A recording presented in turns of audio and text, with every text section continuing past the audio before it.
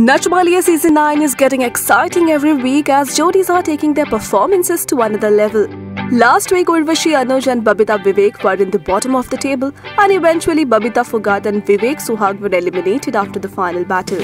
Reportedly, the Jodi to be eliminated in this week's episode is Anuj Sachdeva and Urvashi Dholakia. The couple came in the bottom consecutively for the fourth time, and this time they were eliminated. Anuj and Urvashi were the most sizzling Jodi of the season, and in the last week's episode, the couple spilled the beans about their relation.